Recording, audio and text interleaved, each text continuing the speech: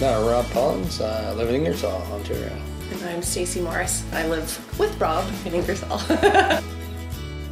Um, we saw some of the work that's been done in the local area and some of the advertising and liked what we saw. I did some uh, research online, uh, checked out a few websites just because there was multiple, there's multiple metal roofing companies.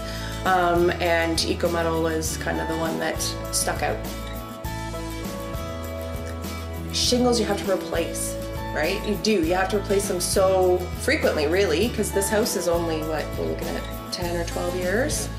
Yeah, and we're already having to, like, we should have actually probably replaced the shingles, some of them last year, but we just stuck them back down. So we just, the, the carefreeness of having, like, the ease of having a metal roof. Yeah, You just know it's good.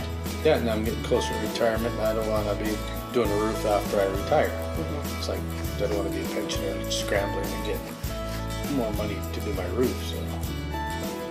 We get a lot of wind where we live. Yeah. So the wind has taken a lot of the shingles off on our street because the farm field vine is just just peels them right off. That and I find shingles would they they only look good for a little while, right? Whereas the metal roofs seem to now, I mean, they're more the old barn style metal roofing that you know it loses its paint after a while.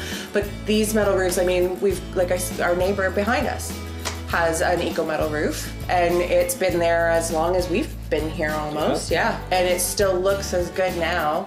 So i mean that was a huge thing when um, our salesperson dave came in he was like hey that's one of our roofs. I'm like is it? I kind of wondered and uh, it looks just as good like there's no fading no nothing it's it's great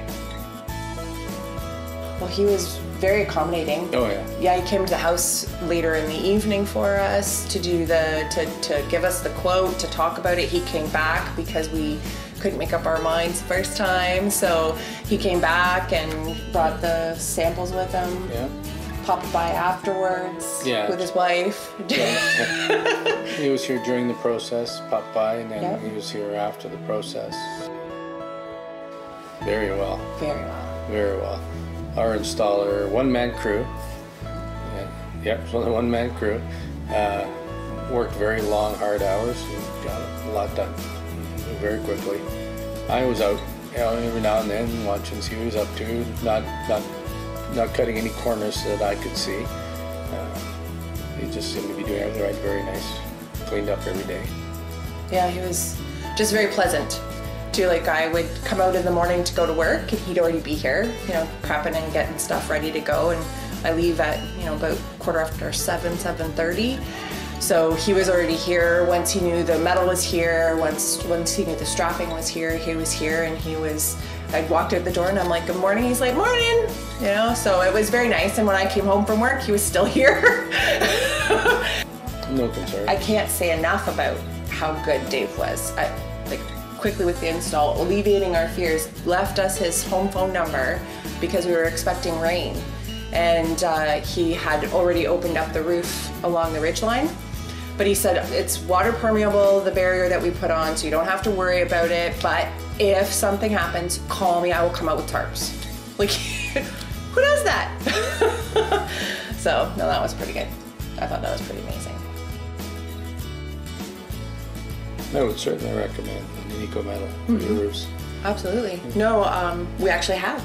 I recommend it because Yes. we we do. We love the color. We love the roof itself. The um, London Ecometal, the salespeople right to the installers, and we have our friends and neighbors. We were like, you guys really need to check this out. so yeah,